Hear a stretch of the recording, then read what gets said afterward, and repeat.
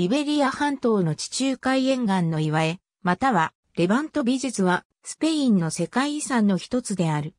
カタロニア州、アンダルシア州、ムルシア州、バレンシア州、アラゴン州、カスティーリャラマンチャ州の6つの州にまたがる700地点以上に残る膨大な数の戦死時代の岩壁画が対象となっている。正確な作成年代は議論の余地があるが、おおむね紀元前8000年頃から前3500年頃のようである。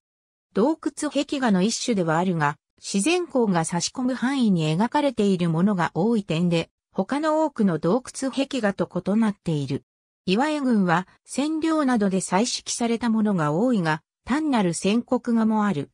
絵のサイズは数十センチ程度のものばかりで、他の世界遺産に登録されている岩江郡と比べても小さめである。描かれているのは狩猟採集生活を行う人々や動物などで生活の様々な様子が滑車されている点にも特色がある。登録地点は758カ所である。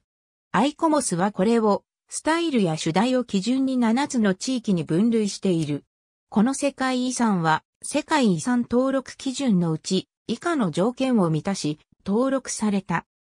アイコモスは、すでに世界遺産に登録されていたダッシリナジェール、ベゼール渓谷、シエラで、サンフランシスコなどの岩絵と比べても、描かれている図像の小ささや、狩猟採集社会から農耕社会への過渡的な時期に描かれた貴重な証言であることなどによって、世界遺産として登録されるべき価値を有していると判断した。